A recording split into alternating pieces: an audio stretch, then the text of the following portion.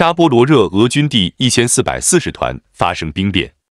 俄军十月战损创全面战争以来之最。朝鲜外相称，俄朝关系正在达到无敌军事伙伴关系水平。俄罗斯对谷歌开出三十五位数的天价罚单。二零二四年十一月一日，今天是俄乌战争第九百八十二天。根据乌总参公布的最新数据，在过去的二十四小时里。俄罗斯军队共损失一千四百六十人，坦克六辆，装甲车二十辆，火炮二十六门，特种装备九套，军用卡车七十七辆。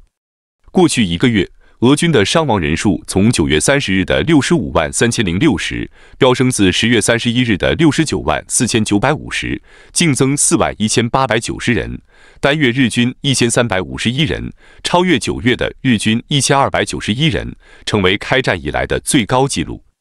这个数字甚至超过巴赫穆特战役和阿夫迪夫卡战役时的高潮。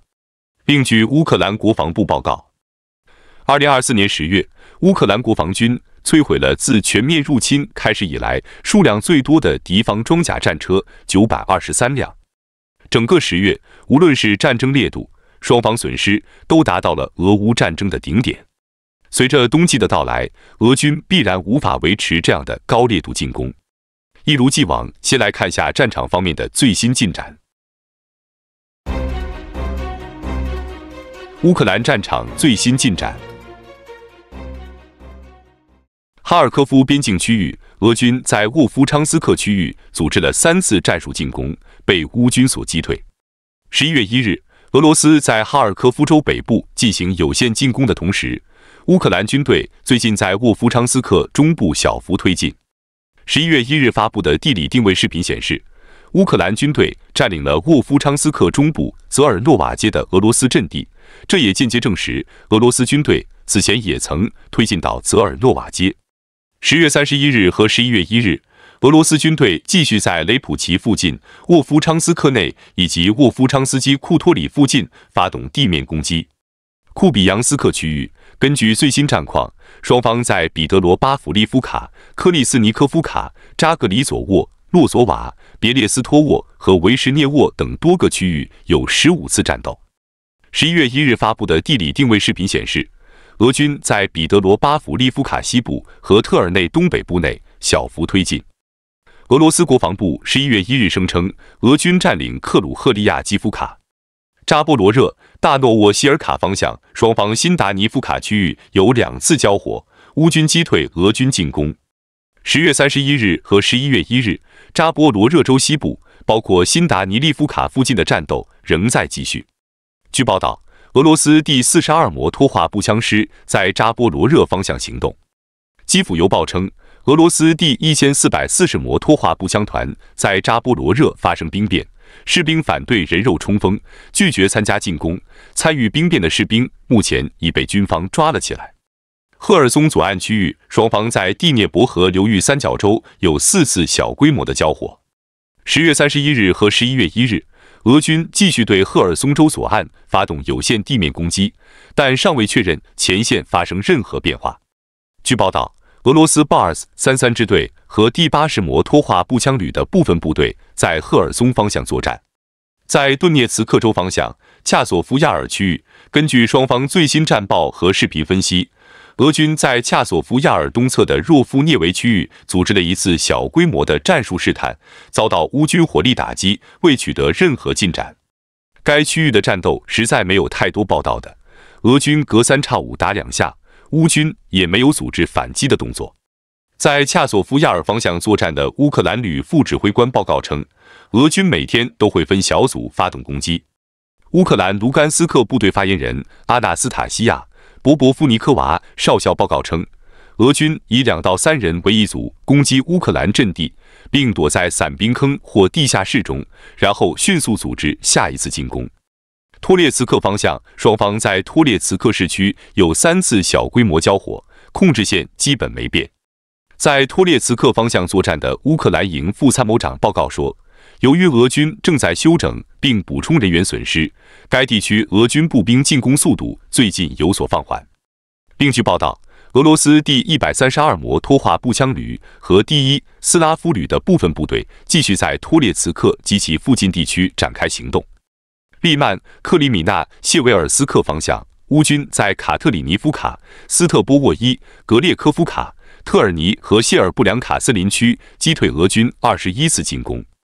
波克洛夫斯克方向战斗比较激烈，双方交火三十五次，战斗主要围绕在新托列茨克、米尔诺赫拉德。米罗留比夫卡、普罗明、利斯夫卡、普罗明区域和米尔诺赫拉德区域，俄军攻势较猛，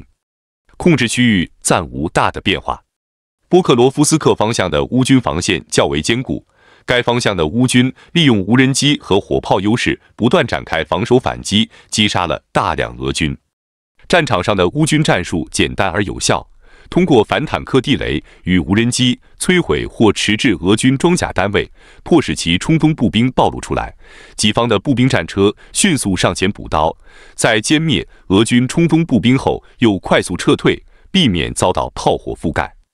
库拉西夫卡区域的战况有变化。根据前线最新战斗视频和图片分析，正如昨天小编在战报中的判断一致，乌军已经快速从库拉西夫卡区域撤离。目前在伊尔林卡和沃夫琴卡区域组织防御。谢利多沃区域，双方在戈里夫卡村南侧有多次交火。俄军继续对乌军阵地实施战术试探。新季米特利夫卡、新谢利基夫卡、克里米纳波尔卡，俄军组织了十多次步兵战术进攻，均被乌军击退。在过去二十四小时里，库拉霍维区域无疑是乌东前线战斗最为激烈的地方。负责该地区防守的是乌军第七十九旅、第五十八旅和第四十六旅。两路俄军目前正在向库拉霍维全力突进。从南面矿工镇推进的是俄军第八集团军两个旅，从东面马林卡方向推进的是俄第五十一集团军一部。截止昨天下午十八点。东路俄军第五十一集团军已抵达库拉霍维东郊，对乌军外警戒阵地形成了极大的战术压迫。由于背靠沃夫查水库，乌军第四十六旅的迂回空间目前变得越来越小。在南顿涅茨克区域，乌军已经放弃新乌克兰卡村的防御阵地，并后撤至马克西姆米夫卡、特鲁多维矿工村附近。安东诺夫卡、伊利扎维提夫卡等多个乌军阵地也遭到俄军多轮进攻，目前双方仍在激战中。俄罗斯人继续向北推进，双方的初步报告都证实，俄军已经控制了 Nofukunka，目前战斗已经在 Trudov 南部打响。与此同时，第四十八独立突击营在 Zolotaneva 成功突围。此前，他们在这里阻挡了向沙赫塔尔斯克推进的俄军机械化纵队两个星期。尽管看起来俄军在本周里攻势猛烈，拿到了一百九十六点一平方公里战场收益，但人员与装备损失极其严重。在双方的接触线上，俄军尸体、被炸飞的坦克炮塔以及燃烧的装甲随处可见。特别是库拉索和塞利托夫一些战斗白热化地区，俄军装备的残骸甚至扎堆存在。库尔斯克战场最新进展：库尔斯克前线双方继续处于对峙模式，双方继续在西伊万诺夫卡村附近有小规模的战斗。其他区域都是无人机打击和零星炮击为主，整个库尔斯克战区的战斗基本处于停滞状态。俄乌战场今日热榜消息是在库尔斯克作战的乌克兰军队第四十七机械化旅主动出击，使用海马斯系统摧毁了朝鲜军团先遣队的驻扎营地，除一名重伤的朝鲜士兵俘虏外，其余四十名人遭到了团灭。这一消息虽被俄方否认，乌克兰官方也没有进行深度报道。但依然被国内外各大媒体争相报道。法新社和路透社报道称，朝鲜不仅派出了正规军，还派遣了三名将军，率领五百名军官前往俄罗斯。率先进入俄罗斯的风暴军团有八千人。根据乌克兰政府公布的名单，这三名将军是金永福、李昌镐和金新哲三大猛将。其中，金永福为朝鲜人民军副总参谋长以及特种部队司令。乌克兰代表团在联合国安理会上发言中表示，朝鲜军队将按照计划分成五个编队纳入俄罗斯军队，以便隐藏。每个编队由两千至三千名朝鲜士兵组成。目前，朝鲜已派出一万多人支援俄罗斯，相信这只是开始。不要忘记，朝鲜有一百三十二万现役军人，后备役五十六万人。哪怕朝鲜只派出十万人参战，对于缺乏装备和关键性武器的乌克兰来说，都是十分严重的。空袭方面最新消息，俄罗斯消息人士于十一月一日声称。乌克兰军队在十月三十一日至十一月一日夜间对俄罗斯进行了一系列无人机袭击。俄罗斯国防部声称，俄罗斯军队在库尔斯克、布良斯克、沃罗涅日、奥廖尔和别尔哥罗德州上空击落了八十三架乌克兰无人机。俄罗斯消息人士称。乌克兰无人机袭击了巴什科尔托斯坦共和国乌法的一个燃料和能源综合体，并击中了斯塔夫罗波尔边疆区的一座油库，但没有损坏。不过，袭击的镜头显示，斯塔夫罗波尔边疆区的油库发生了火灾。十月三十一日至十一月一日夜间，俄罗斯军队对乌克兰进行了一系列无人机和导弹袭击。据乌克兰空军报告。俄罗斯军队从占领的赫尔松州上空发射了三枚 Kh 五九六九巡航导弹，并从奥廖尔州和库尔斯克州发射了四十八架无人机，包括 Shahed 型无人机和其他不明类型的无人机。乌克兰空军报告称，乌克兰军队在基洛夫格勒、基辅、切尔卡瑟、文尼察、日托米尔、赫梅利尼茨基、苏梅、切尔尼戈夫。敖德萨和波尔塔瓦州击落了三十一架无人机，十四架俄罗斯无人机失踪，大概是被乌克兰的电子战系统所拦截。还有三架无人机飞入白俄罗斯领空。据乌克兰空军报告，乌克兰军队还击落了一枚 Kh 五九六九导弹，另外两枚导弹由于乌克兰的反制措施而没有击中预定目标。乌克兰空军报告称。落下的俄罗斯无人机残骸击中了波尔塔瓦、切尔卡瑟、基辅和敖德萨州的多家民用企业和住宅楼。切尔卡瑟州负责人伊霍尔·塔布列茨表示，俄罗斯无人机破坏了几栋公寓楼，摧毁了一座未指明的建筑，并袭击了切尔卡瑟州佐洛托诺沙附近的一家国有企业。波尔塔瓦州军事管理局报告称，俄罗斯无人机损坏了该州的住宅楼。乌克兰紧急服务部门报告称，俄罗斯导弹袭击了敖德萨市的一座消防站。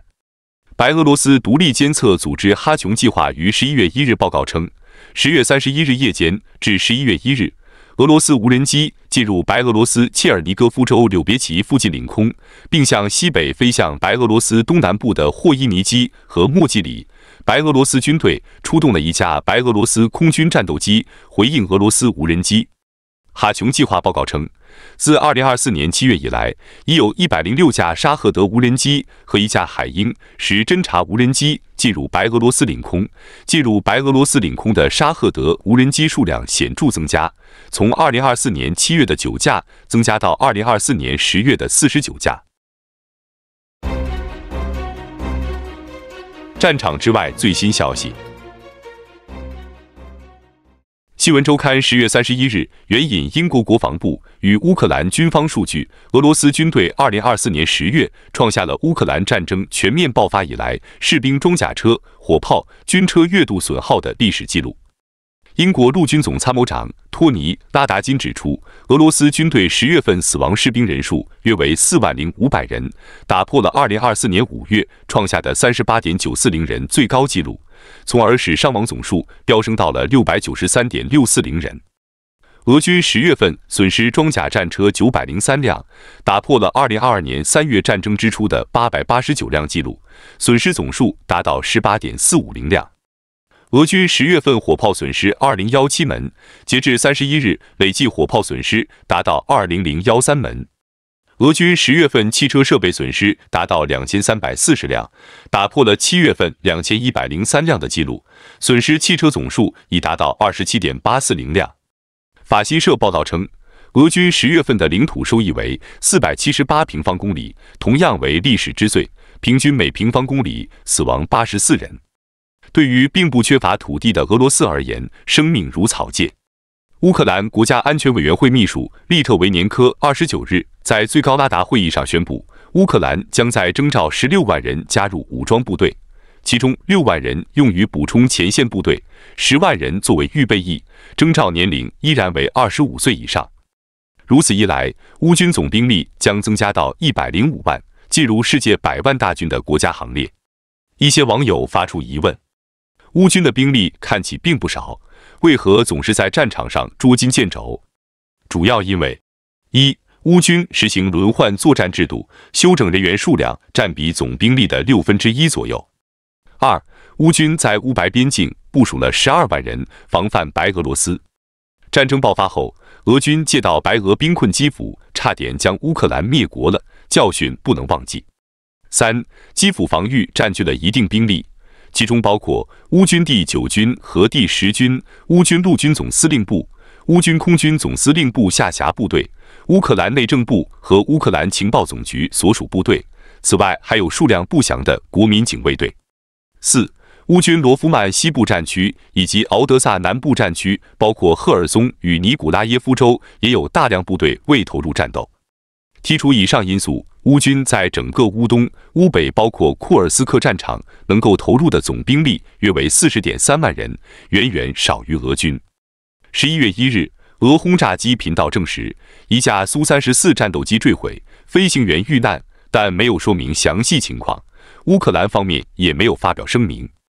这意味着这架俄军苏三十四战斗机可能是自行坠毁。拥有一百四十架苏三十四战斗机的俄空天军，现仅剩一百架左右苏三十四，已近损失三分之一。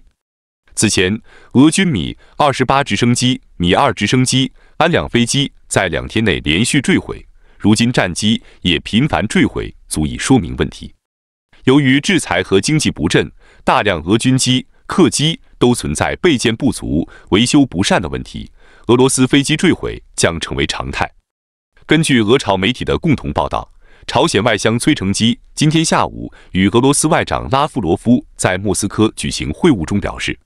从特别军事行动开始之初，我们尊敬的领导人就做出了指示，我们将不回头的、坚定的、有力的，永远支持俄罗斯军队和俄罗斯人民的神圣战争。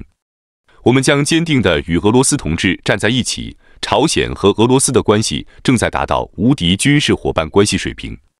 此外，他还强调，由于美国及其盟国的行动，朝鲜半岛局势正处于非常危险和不稳定状态。美国和韩国成立了一个核资讯小组，他们密谋对我国进行核打击已经有三次了。美国的航母打击群部署在我们的海岸，还有一艘核潜艇从美国驶入韩国。因此，我们将继续加强和打击报复性准备工作。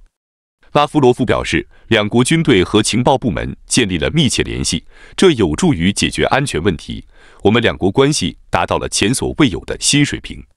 据俄罗斯商业咨询报网站十月二十九日报道，俄罗斯一家法院对谷歌罚款达到约。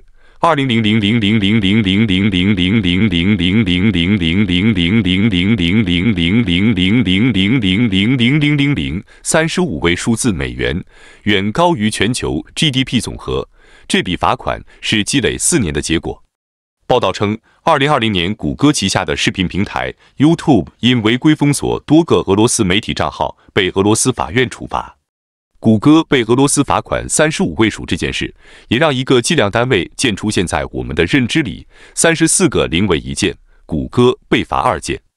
如果对这个数字没有概念，那么用克作为单位来计数，太阳的质量是三十三个零。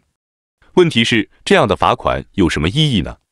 司法机关开出这种耸人听闻的罚单，还是法治国际吗？韩国军方表示，朝鲜星期四十月三十一日向东部海域发射一枚洲际弹道导弹，此次试射很可能是针对美国本土的一种新型的武器。韩国联合参谋本部在声明中表示，朝鲜星期四上午七时十分左右从平壤一带朝东部海域发射一枚弹道导弹，在飞行了约一千公里后落入东部日本经济外海海域。朝鲜此次发射的弹道导弹是一枚以高仰角发射的远程弹道导弹。朝鲜官方和朝中社报道证实，领导人金正恩出席了一次非常关键、旨在增强朝鲜和威慑力量的洲际弹道导弹试验。他在发射仪式上表示，这次试射是适当的军事行动，完全达到了向对手告知我们反击意志的目的。日本防卫大臣中谷元对记者表示，这枚导弹可能是洲际弹道导弹及新型导弹，其飞行时间八十六分钟，超过了朝鲜此前导弹试验的相应数据。乌克兰外交部强烈谴责朝鲜在十月三十一日发射的洲际弹道导弹。称这是一种不负责任的挑衅，破坏了朝鲜半岛及全球的和平与稳定。声明指出，朝鲜正在支持俄罗斯，不仅提供火炮和弹道导弹，还派遣军队协助俄罗斯在乌克兰的军事行动。此次导弹试验展示了朝鲜在导弹技术方面的重大成果。韩国国防部对此表示严重关切，并呼吁全球采取果断的应对措施。俄罗斯外长拉夫罗夫十月三十一日表示，俄罗斯和伊朗将很快签署全面战略合作伙伴关系条约。这个条约与朝鲜签订的条约一样。伊朗总统佩泽西西扬表达了尽快签订条约的意愿。莫斯科时报报道称，莫斯科与德黑兰都遭到了西方与以色列等强大的外部压力，两国都有强化合作的迫切需要。十一月一日，国家利益报道称。俄罗斯精锐特种部队在乌克兰遭受惨重损失。俄罗斯原本希望利用精锐特种部队在乌克兰轻松取胜，但五支特种部队旅中除一之外，其余均遭受重大损失。乌克兰通讯社援引乌克兰总统泽连斯基的话，基辅和布达佩斯正在制定一份双边文件，其中涉及安全问题和乌克兰加入北约问题。泽连斯基称。该协议将有助于消除误解或应对当前、过去和未来挑战。乌克兰将允许不再提出乌克兰境内的匈牙利少数民族问题，同时安全问题将成为协议的组成部分。我们对匈牙利最基本的要求是不要阻止乌克兰加入北约，也就是说，不支持、不投票给我们，但也不阻止。美国国务卿安东尼。布林肯宣布，将在未来几天向乌克兰提供新的军事援助。英国和德国将为乌克兰的海王星直升机配备现代导弹系统，但具体导弹类型尚未披露。乌克兰国防部国际防务合作局局长 Hennedy k o l e n k o 在基辅安全论坛上表示，挪威正准备向乌克兰提供价值五亿欧元的新援助计划。此外，挪威也准备效法丹麦，投资乌克兰国防工业。泽连斯基在接受韩国 KBS 电视台采访时宣布，乌克兰将很快正式请求韩国提供军事援助，请求将包括防空系统、火炮和其他防御所需的武器。考虑到当前的形势，韩国几乎肯定会改变其现行政策，直接向乌克兰提供武器。泽连斯基还表示，美国新总统要么加强对乌克兰的支持，要么削弱它。削弱对乌克兰的支持不会让我们赢得这场战争。泽连斯基强调，如果特朗普想获胜的话，迫使乌克兰付出一切与俄罗斯达成协议，我认为是不可能的。泽连斯基还表示，乌克兰不承认其被占领土为俄罗斯领土。无论谁在美国获胜，无论普京继续担任俄罗斯领导人多久，这都是不可能的。乌克兰已经坚持九百八十二天，不会轻易割让领土和投降，而俄罗斯不可避免地衰弱了，战争趋势已经加速，结果的到来只是时间问题。